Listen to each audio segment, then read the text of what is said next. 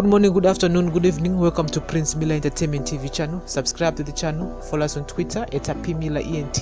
Instagram, Facebook. It's a Prince Miller Entertainment. Welcome to another edition of our daily news on breaking news. So, guys, another update on, on Miss Henrietta Rushawaya. A senior investigating police officer yesterday told the court that uh, stephen atsirai one of the five accused persons in zimbabwe miners federation president henrieta rishawers gold smuggling case tempered with exhibits and deleted some of the facts on the docket ah, uh, rishawaya was arrested at robert gabriel mugabe international airport last monday for allegedly attempting to smuggle more than 6 kg of gold to dubai chief inspector michael chibaya from harare cid law and order told harare magistrate uh, ngoni nduna during bail hearing that uh, tserai a central intelligence organization operative convened with his accomplances to delete information where the first lady auxilia mnangagwa and her son collins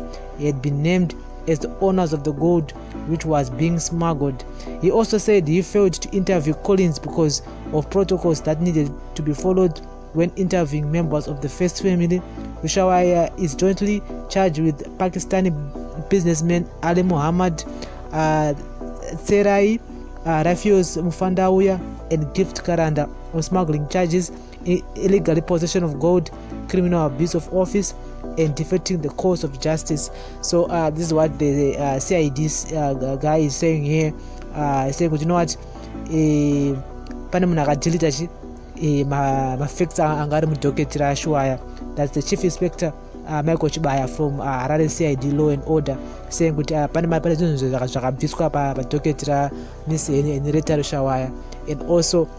uh, he could not go and, and, uh, and uh, question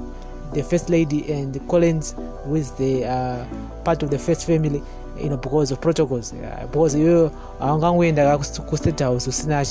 clearance and all that saka so, ndonyaya nemamirira aita nyaya guys uh, lets talk in the comment section munozoona sei uh, and remember guys to subscribe to the channel and follow us on all our social media platforms